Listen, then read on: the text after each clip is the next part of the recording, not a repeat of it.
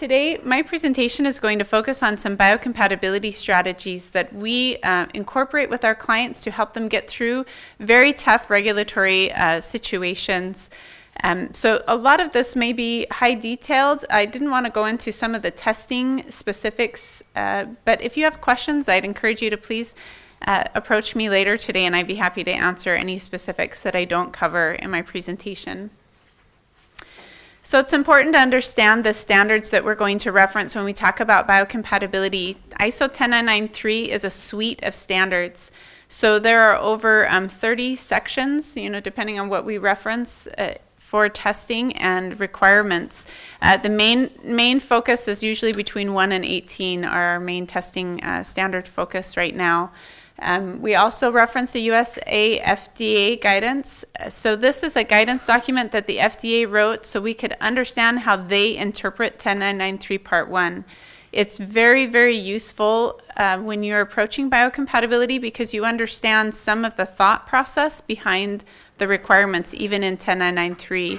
Um, so this document is available for free online. So if you've not referenced this within your facility or, or looked at it, I recommend that you search this online and read this document. Uh, I recommended to our sales team even this week. I said, you should read this and, and know this. Uh, it helps you talk about biocompatibility. And I think for manufacturers, it helps you understand where you need to be compliant and to understand all of the standards is really well summarized in the, the guidance document. Uh, and of course in 10993 Part 1, where you'll also find a nice overview of biocompatibility. And of course, we will talk about MDR uh, you know, I read this, or I tried to read it, but it's over 300 pages, so it's very long. I tried to find the important parts. Uh, so, of course, that's a great concern in the industry right now, the changes. And so, we'll cover some of that today as well. So, it's important when we talk about what's changing that we understand where we were before with biocompatibility. So, this chart is um, one that I could put online up here because it's free from the FDA. This is their old chart. Uh, so it looks like, you know, checkbox approach. You know, you just go through, this is how we used to use it. We'd go through and we'd identify our device, say how it contacts the body, and then what tests do we need to do? Oh, we did this one and this one and this one. We send our reports and everything was okay. Um, so that's how it used to be. But now the problem with that that we're understanding as a as an industry is that when we do this, we don't understand the materials we're using. Uh, it doesn't hold the companies and manufacturers responsible for understanding that, and we don't know why we're doing the tests. We're just doing them because it says we're supposed to do them. And so there was a gap between are we really assessing the risk of the device? Uh, do we really, are we tracking how we're making our device and keeping that record consistent? And so because that was seen in the industry, the checkbox approach is no longer acceptable. So the title of ISO 10993 Part 1 specifically has risk in the title. It says Biological Evaluation of Medical Devices, Evaluation and Testing Within a Risk Management Process. So this title was changed in 10993 Part 1 in 2009. So we've had it for a while. Um, so it's not really a new thought, but the regulatory agencies and notified bodies are now um, regulating to that level. So with that expectation, and as we know, regulation drives behavior. So whatever they're asking of the clients and of the industry, that's what we're going to adhere to. So the agencies are now following the intent of 10993 Part 1 um, better, and so we're also using that more as an industry. This is a good thing for industry. It is a good thing for medical device manufacturers because it opens the door to have more of a logical discussion with your regulatory agencies where you can talk about the science more instead of just did you do the tests? Even though they don't apply did you do them? Did you fail them? Well you have to pass them because it says you have to do them. You can have a more in-depth conversation and there's room to do things that apply specifically to your medical device. So this is a very good thing for industry the FDA also, in their guidance document, added a full section uh, on risk management. This is very, very nice for a company because it lets you know Where can I use clinical history information? Where can I apply my chemical characterization testing to support my biocompatibility? It has those conversations so that you can know how to maximize the testing you're doing to support your biocompatibility. So before I leave the discussion about risk, I always like to make sure we're thinking, I leave you with a very good definition so we think about this appropriately. And this definition comes from ISO 14971, which is a guidance document on doing risk management for medical devices. It's, it's a very broad one, a broad document, but we can apply the definition here for biocompatibility. So when we think about risk, the definition should be a combination of the probability of occurrence of harm and the severity of the harm, of that harm. So when we try to make this more readable or translate this into use, we say how likely is the harm to occur and how severe is it when it happens. Uh, so we want to take that into account. If we have a product that will save a patient's life and is applied for five minutes but might cause irritation, is that an appropriate risk? Yes. And you can have that discussion within that context of definition because irritation responses, once you remove the product, the response goes away, patient is alive. I think I would handle a rash just so I could be alive tomorrow, right? I mean, you know, we think about these risks. So this is the new table in 10993 part 1 and I wanted to highlight some of the differences here between this version and the previous version that's driving this conversation about risk. So the very first column here is physical and or chemical information. So this is what's driving this full discussion up front and we're to I'm going to repeat this over and over again how we're gathering this data. So it's important that we understand from a manufacturer perspective and then from a regulatory perspective how this device is made. What are the materials? How is it being manufactured, including sterilization and distribution? You that, that information, whether it's sterilized terminally by the manufacturer or at the site of use. So important information to understand what needs to be done to assess the biological safety. Uh, I've added in sensitization here. We always miss something in the committee, and this time we missed this title. So this column is referencing sensitization. So if you've printed it and you were guessing, you guessed right that that should be sensitization. Another one is they added a column here for material-mediated pyrogen testing. This is not a new test. This was just tucked under acute systemic toxicity. So it's been part of the standards for many years under 10993 Part 11. It's in an annex where this is discussed. Um, but the recommendation from the industry in our ISO meetings was we need to separate this out so that people understand this is a separate test. And um, addressing pyrogenicity, even though it's a systemic response, it's a different set of tests that need to be considered.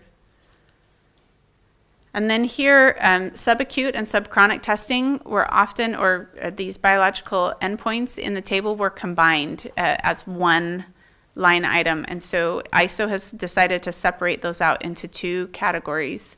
Um, and we'll see that there's some differences between ISO and FDA on how they're interpreting this. And there's also some difficulties when we think about the testing that has to occur from a laboratory perspective. It's a little bit harder to meet uh, the expectations of the standards with just subacute or subchronic. Um, so this is a conversation that would could be had on detail, but when you're considering these endpoints, if you say, oh, in ISO we only have to do subacute, have a conversation with your laboratory to make sure that they can use the proper solvents to meet the testing criteria. So all these things that come into a larger conversation, it seems very simple, but there's some details and specifics that have to be addressed. And we'll talk about where to have that conversation as well. Chronic toxicity here as well identified in the table. And then you'll see, um, I, my circle is a little too far. I have carcinogenicity circled, but it should be just reproductive toxicity and degradation. So these columns are new, and you'll notice that there's never any you know, uh, E there to identify that it needs to be evaluated. So why would they put the columns there in the first place? It's so that we think outside the box about the risk of the device. So as a manufacturer, you know your device the best and you understand how it's contacting the patient population the best. So you need to identify and know and understand if this is a risk for your patient population. If you have a device that's intended to degrade or not intended to degrade but does, uh, there's some additional risks there that need to be mitigated. And if you have a device that is used on neonates or on a maternal population, we need to consider developmental toxicity and reproductive toxicity as well. So just more more conversation to be had rather than oh what does the chart say? Tick tick tick. We'll do our tests submit our reports because that th- that approach is not working. Um, what we're seeing from our clients is that's not working. So i wanted to point out what's in the fine print. You see there's a very long conversation in the fine print at the end of this chart. I want to point out what the x and the e mean on the table. So if you see an x it means it is pre it's a requirement. This is how we start our risk assessment. So X means a prerequisite information needed for your risk assessment. So this means you need to consider your physical and chemical information before you decide which testing needs to be performed. The E means you need to evaluate the endpoint that they're identifying as a risk. So the list also is not conclusive. Uh, you know, we need to think about how our device contacts patients and understand all of the risks.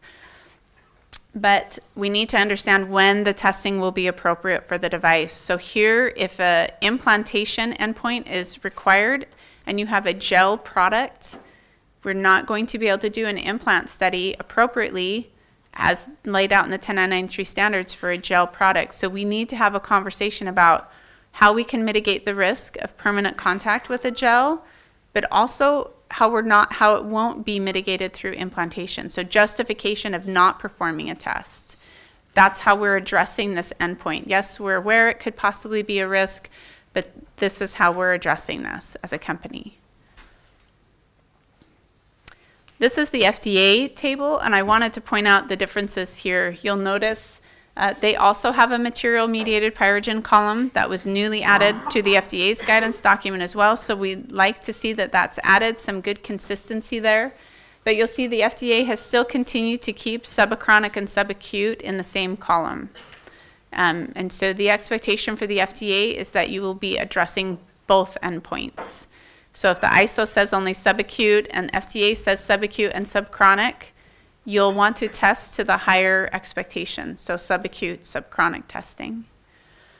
Uh, questions also to be had with your testing laboratory, full discussion to make sure you understand how the test is performed and that you can meet both endpoints. One thing you'll notice is FDA does not have material evaluation in a column here, but in the document they do specifically say you need to consider your materials and your processing, have those identified.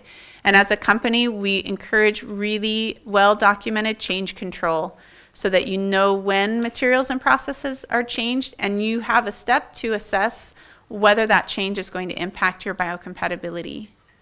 Because if you've tested on a product that you manufactured 10 years ago and you've changed your suppliers and maybe even changed your base material, are you putting out the same product? And have you mitigated those risks again?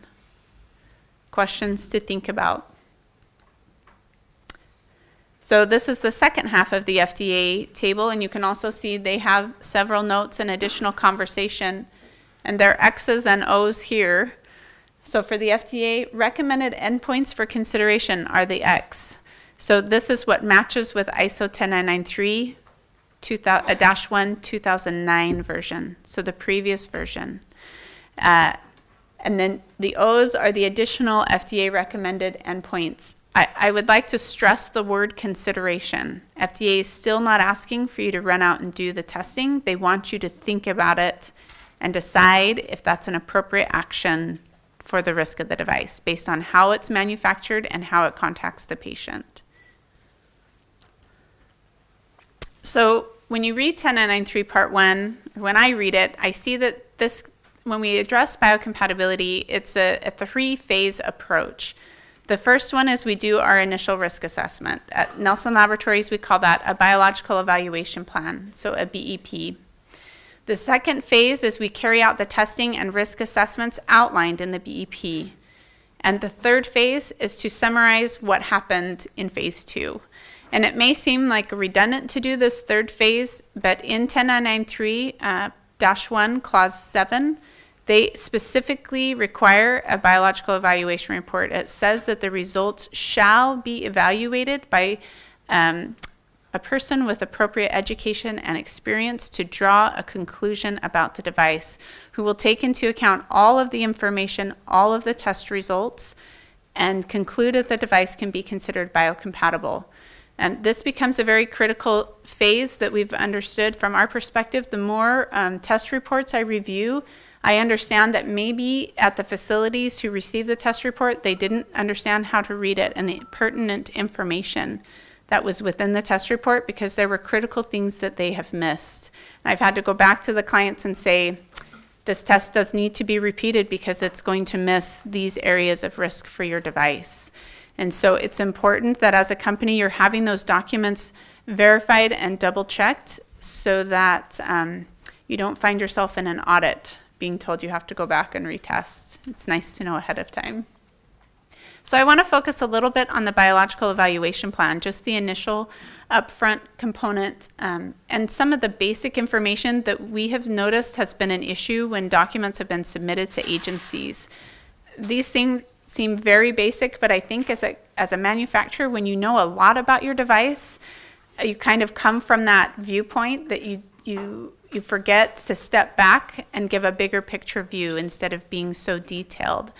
So I always recommend to start with a very good description of the device and always, always include a picture of the device, um, a full picture of the device with the individual components identified, and then to be very exact about the body contact, exactly how it touches the patient.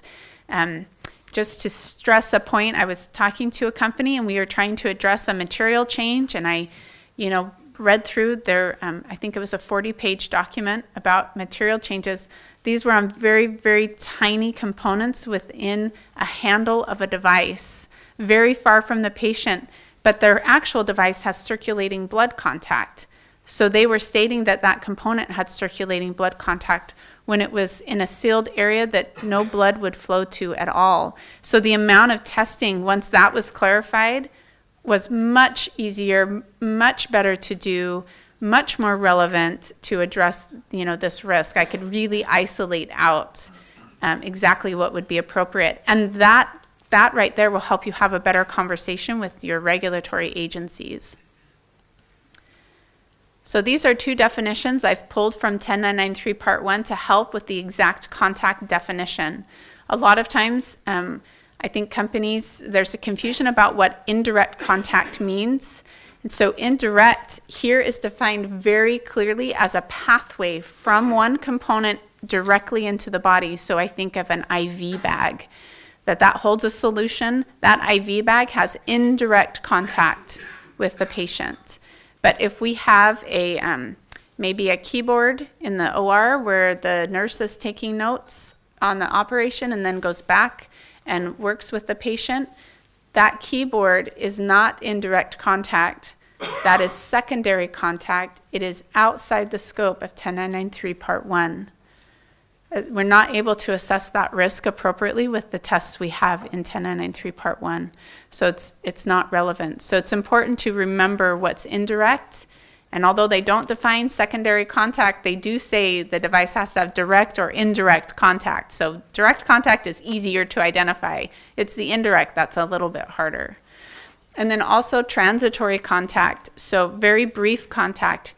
Maybe it could touch the patient during surgery for just seconds. Do you need to assess that for biocompatibility? What's the risk to the patient? So, so we want to think about that so we're not unnecessarily testing components that will give us irrelevant data to the clinical setting. So this is a table, uh, a chart in 10993 Part 1. We don't need to read the specifics, but I wanted to bring this up so that when you go back to 10993 Part 1, this will be a familiar sight to you. So this is the guiding uh, question flow of how we mitigate our risk. We look at our materials and we ask ourselves some questions about the materials. Do we already use this material in another device? Is it sterilized and manufactured the same way? Does it touch the patient in the same way? Will that biocompatibility testing support the use of that material? Do we need some chemical characterization testing to support the use of this material? So it guides you through a list of questions so you can know what you can use from the material information you may already have at your facility. And if you know you have it and it's not organized in a way that you can easily find it, then maybe you'll think about how to restructure your documentation at your facility so you can better use the animal testing or the, the biocompatibility testing, chemical testing more to benefit the company as you move forward. So I want to talk about material characterization because I feel like this has been a very gray area um, as far as how to meet this requirement in 10993 Part 1. It is on this section in a biological evaluation plan that you're testing, uh, we say pivots. So it will it decides what testing you're going to do, how much chemical characterization testing you need to do, and how much biocompatibility testing you need to do. So I like to start with just some basic information that you typically see from your um, suppliers, possibly, is that you'll get certificates that say this is a USP Class 6 material, or this is a 10993 compliant material. So I've added some extra information here to, to give you more tools and also help you ask some more questions if that's the type of identification you're seeing on your material sheets. So if the sheet, the material sheet says it's 10993 compliant, you need more information because there's several tests in 10993. Did they only do cytotoxicity? That's not going to help you very much. I mean, it's good to know you start with a good material. That's important, but uh, it's not going to go very far for your material characterization. So ask more questions, understand which tests were performed, and how the material was tested. Was it sterilized? Did it go through any processing? If you're using a material that's commonly used for extrusion, for tubing, did your manufacturer go ahead and extrude it in its uh, testing process as well, you know, to make sure they were incorporating that? Ask some more questions from your suppliers. If it's USP Class 6 certified, um, so USP I know is a United States uh, testing, but it, it's commonly used. So if you have a supplier from the US, I think this is a common claim um, to note that it only covers irritation, systemic toxicity, and a one week implantation.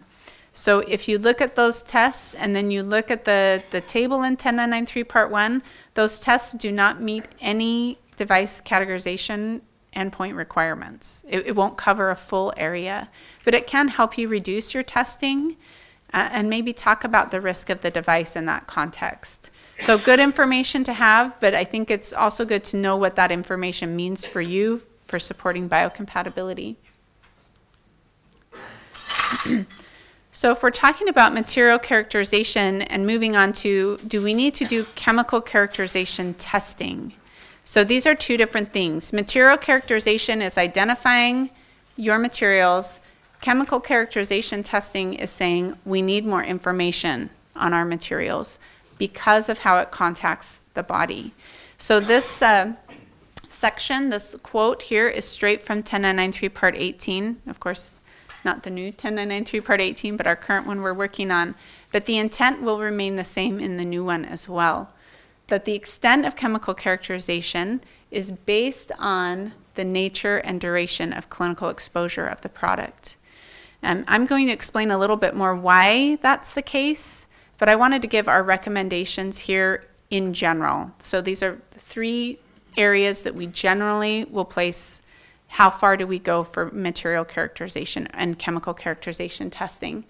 So if the device is limited contact, so only touching maybe the skin or very, you know, 15 minute contact with the patient, you identify the materials in your processing, and then you use the biocompatibility testing to support patient safety. So you use those endpoints, whether you have testing performed previously, other data. We're just going to stick to the endpoints on the 10993 table. If you have prolonged contact device, something that's used for over 24 hours, and it's a little bit more invasive in the body, perhaps still an internal exposure, we want to consider using chemical characterization. We want to consider what we already know about the materials, but we're, we're going to look at the biological endpoints required and see if chemical characterization can help us there, where we would reduce our amount of animal testing under that requirement typically. For a permanent contact device, you need to do chemical characterization. And this is where we can address some longer endpoints. So I'm going to step into that discussion really quickly to help clarify that. So we go back to this table. We understand our device has permanent contact. When we do that, we see that there are several of these long-term tests that need to be addressed. But these tests, if we look, carcinogenicity testing costs over 1 million euro. It's very expensive, takes several years. For a medical device company, that's not practical. That's not the timeline that we function off of. So it, we need to think of shorter ways to address this, and how we use do that is through chemical characterization testing. But one thing that's nice is one chemical characterization test can address all of these endpoints. So I want to take a minute and look at a prolonged contact device, which sits here in this category B. Let's come down here you can see that there's a few of these longer term tests that would need to be addressed. Sometimes that's where we have to make a call. Is it is it more feasible to do the chemical characterization? That would give you great information, helps you address changes down the road. That's a really good option to look at. And then you think, okay, maybe we want to do the in vivo tests that we've always done. That's our company history. This is what our database is based off of. So you need to look and make that decision. And of course, you can call us uh, and we can help you make that judgment call. But that's where prolonged sits kind of in a gray area of where we can use the chemical characterization to support biocompatibility. It's always great information to have, but data is even better if you can apply it to more than one thing. And that's what we're trying to do here. So for chemical characterization, it's really two phases. So 10993 Part 18, which you'll hear a lot of conversation today about because that is what Nelson Labs Europe, that's our area of expertise. It's for the chemical characterization testing. That actually occurs under 10993 Part 18. However, that data then has to be analyzed through a toxicological risk assessment because we need to take the chemistry that was detected on the device and correlate that now to patient use and patient exposure. And that happens through a lot of research done by toxicologists and some calculations. That's all kept under 10993 Part 17. So when, when we talk to you about chemical characterization testing, we're always assuming that there's a knowledge that we're doing the testing and a toxicological risk assessment. It cannot just be one. There needs to be two, two things. So I shortened this up because I think it's a very long name to say this is where you do a toxicological risk assessment for E&L, to clarify that. So I just broke this up quickly to understand the toxicological risk assessment. So it's a three step. I like threes if you can't tell. I want to put everything in three things. It's easier to remember. So the first stage is we do the chemistry. We determine the chemistry results and we put that into a unit we can research, which is milligrams per device. That's a unit of compounds we can then research in public, publicly available um, data where we look for appropriate toxic levels that we can accept on these compounds. So that's done here by looking for NOELs or LOELs, so no observed adverse effect levels. Once that research is done, the toxicologist selects an appropriate value based on that research, applies it to the medical device, and runs a few calculations tolerable intake, tolerable exposure, and a margin of safety. What it boils down to at the very end is this margin of safety, MOS. If we sit at a ratio of detected compound to amount uh, allowed as far as safety, so amount on the device to the safest amount, we want to sit at a ratio above one for each patient population. So if you have a special patient population like neonates or maybe prenatal neonates, uh, infants, we want to make sure that we understand the weight limit because that is very critical So things to consider when we have these special devices. Another special patient population, always thinking outside the box from a, a, general perspective, but for a medical device manufacturer, always understanding some more specific risks. So I kind of jumped right from one to the next. So that's kind of the end of the discussion about material characterization. Just a little more information to give you the tools to know so you know what to ask for in the direction that the company should go in. The next step is to think about how we're testing, what we're actually testing for biocompatibility. If we do all of our testing on our raw materials, how are we assessing our processes and our sterilization to our final device? So there needs to be some conversation. So not everything about a full finished device can be supported with the raw material without a full understanding of the processes. Is it cleaned? Is it sterilized? Do you have mold release agents? Those types of information. We want to make sure we're addressing all of those steps as well on our finished device. It is a requirement of 10993 part um, 12, part one and also in part 12 where we talk about sample preparation has to be on a final finished device.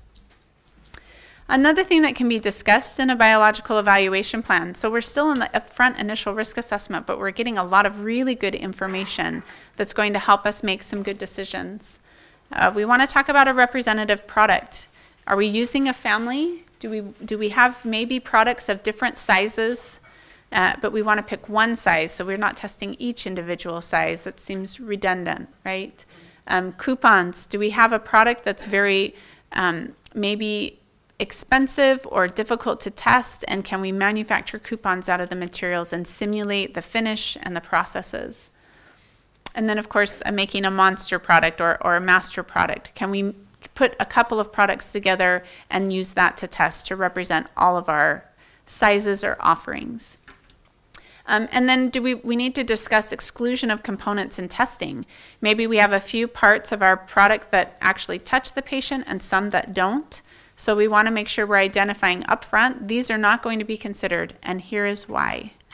Um, and also, electronic components do not work for any testing, not, not for chemical characterization, not for biocompatibility, if you have an electronic component, we want to test without that. And that may mean some special manufacturing considerations when you make your samples for um, in your manufacturing facility for testing.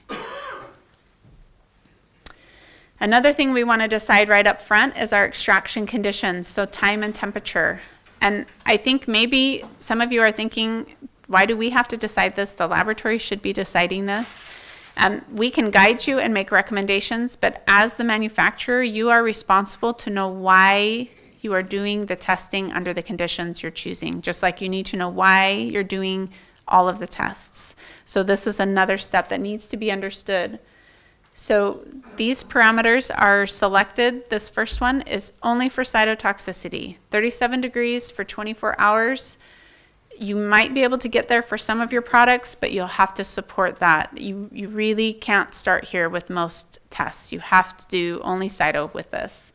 If you have a permanent implant, you have to do 72 hours extract for the US FDA. That's not an ISO, but the US FDA, and they, they mention it very casually in their guidance document, but then they did a webinar and we asked in the webinar, please clarify your requirement for this. And that is a requirement. If you have a permanent implant, your cytotoxicity test needs to be done at 72 hours extraction. 37 degrees for 72 hours. All other biocompatibility testing is done at 50 degrees for 72 hours. Anything outside of that norm will need special justification, specifically for the FDA.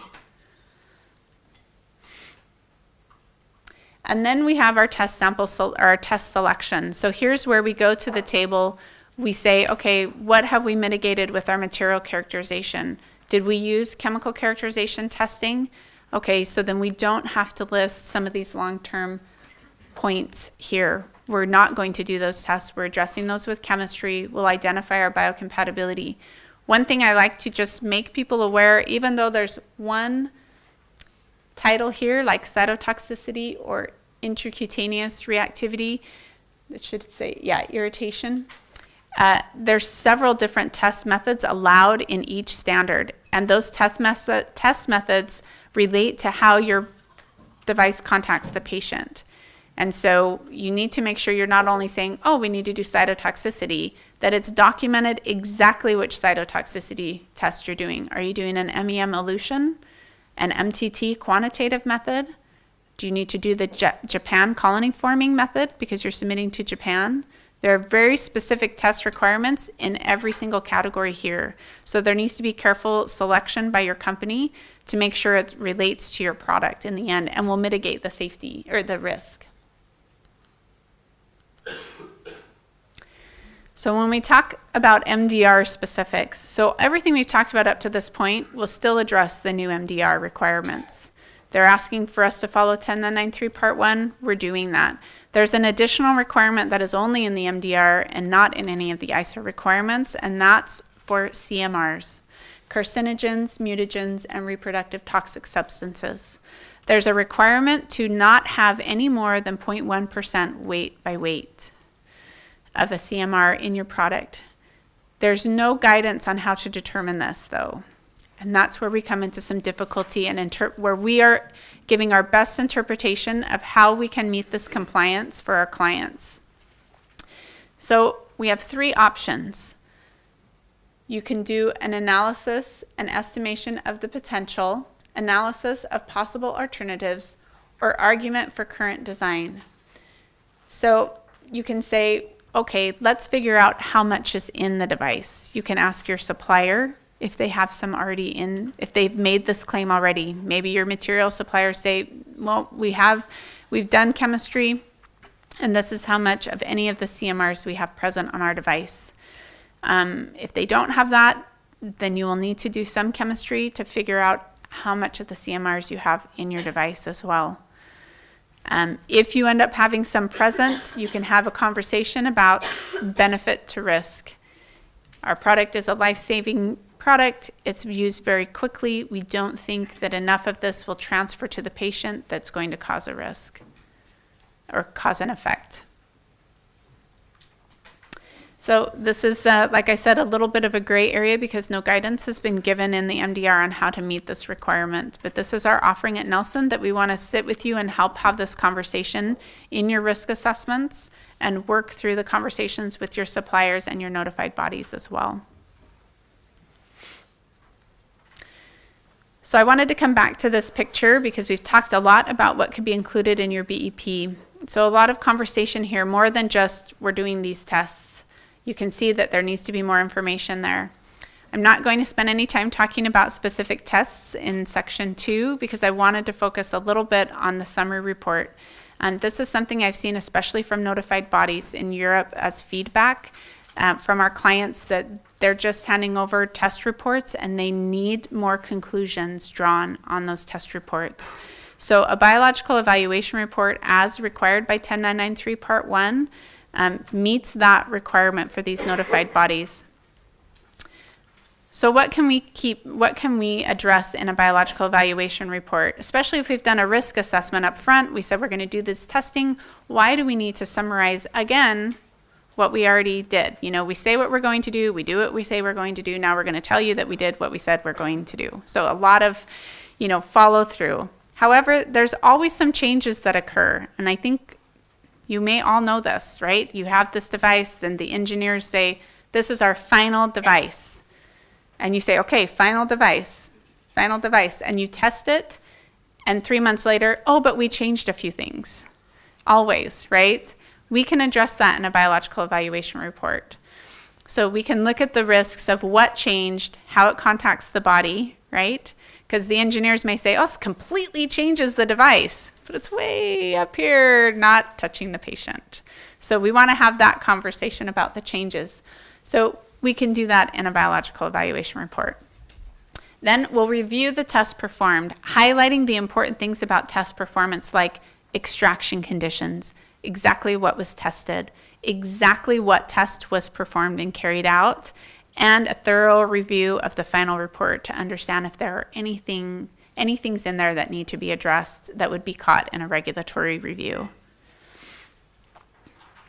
And then we can address any test failures, so especially cytotoxicity, which is a common test to fail. It's a very sensitive test, and we incorporate things in medical devices that are cytotoxic. We use silver, we use zinc, we use copper, latex.